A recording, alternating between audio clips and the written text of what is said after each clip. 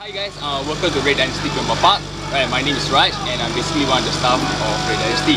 Right, today I'll be talking to you about uh, paintball safety. Right, the number one safety rule in paintball, alright, is about the mask.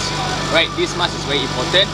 Right, whenever you're inside the field playing, having a game of paintball whatsoever, right, please keep in mind, right, always keep your mask on. Right, never remove the mask for whatsoever reason. Right, so always keep your mask on whenever you're having a game of paintball. Right. Right, uh, next thing is uh, this is what I call a paintball mechanical marker. Right, uh, I'll be talking about the safety of this marker. Right, so basically there are two safety features for this marker. Right, the first safety feature is this black color thing here.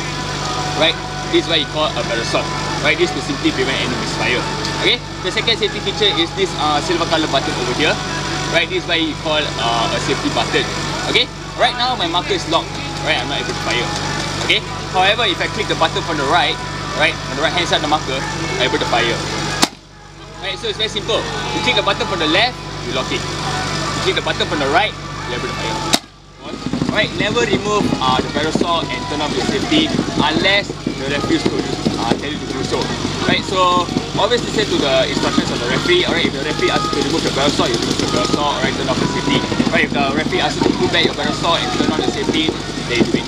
Other than that, alright, uh, please never, alright, do remove the told. Okay, alright, another uh, one more thing. Uh, okay, let's say you're having a game of pin, uh, pinball and suddenly your mask uh, falls off. Right, first things first, alright, do not panic. Right, what you have to do is uh, quickly get low to the ground, right, and cover your head. Right, that's the first thing you do. Right, after that, right, you call for help. Alright, call for help for the nearest uh, referee. Right, after this, the referee will come towards you and then stop you. Right, whatever it is, right, if, your mask fall, uh, falls off, right, please do not go around searching for it. Right, first things first, right, the chances of you being shot is very high. So make sure you find a good hiding spot, get as low as possible, cover your face, alright, towards the ground, push your face towards the ground, and wait for the referee to help you. Right? Right, that is basically all about uh, paintball safety. Right, I hope to see you guys in the Paintball Park soon.